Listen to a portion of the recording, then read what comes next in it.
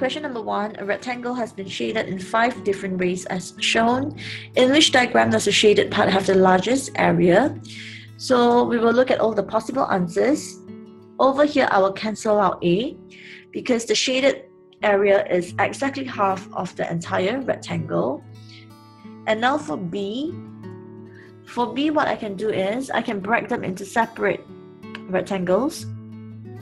So here I can have four separate rectangles. And in each of these separate rectangles, the shaded area is exactly half of each separate rectangle.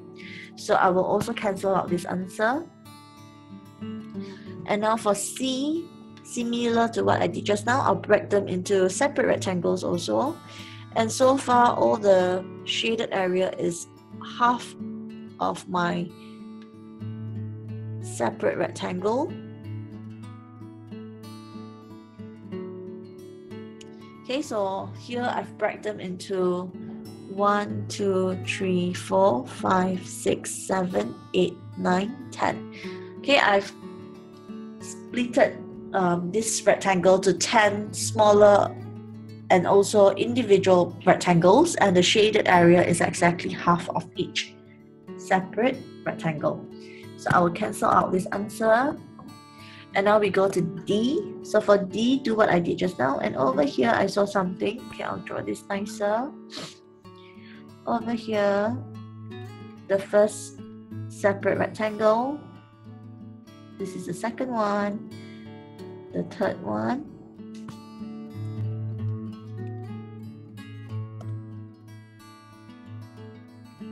And the last one.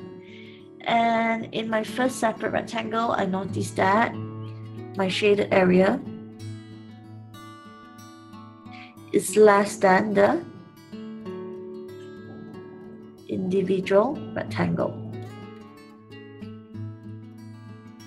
Okay, so my shade my shaded area is here.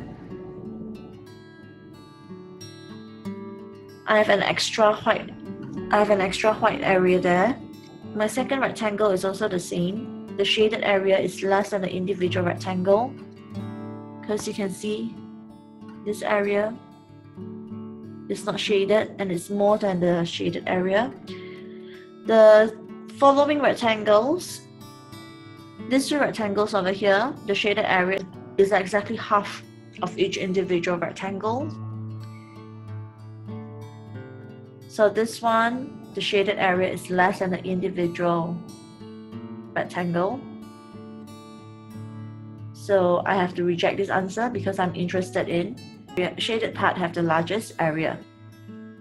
So we are left with the answer E and if we don't believe this answer we can separate them into individual rectangles also here the shaded part is exactly half of the individual rectangle similarly this also this also happens.